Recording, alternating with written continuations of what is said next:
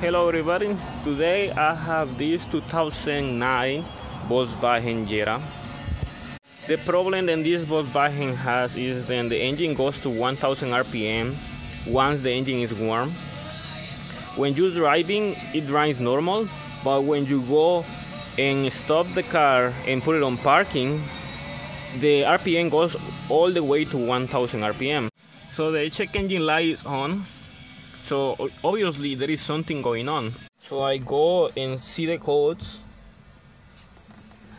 So obviously there is a leak in the intake manifold somewhere. It could be the intake or it could be a hose or something that is broken. So I remove the air cleaner uh, bracket.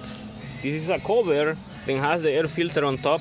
To remove this, you have to pull it from these uh, bushings over here. You have to pull it up, and that's all. After that, I start the engine to see if I can hear any leak around the intake manifold. I install the uh, mass airflow and the temperature sensor to have the correct reading. And I notice a big leak coming from this. This is the PCV valve of this engine. So here is the PCV valve, you can see. The problem that we have right now then the PCV valve is broken. You can see here is broken and we have a broken area right here.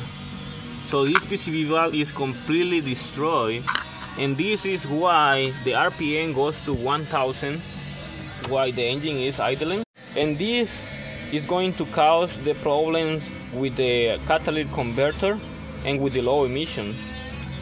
So to fix this problem, I just need to replace the PCV valve. But in other cases, you can have a broken air manifold or broken air hoses. So the way you're gonna know if your PCV valve is bad, you're gonna hear a big air leak coming from here. So pretty much this is all I'm going to show you. Uh, I'm just going to replace this valve and that'll be all.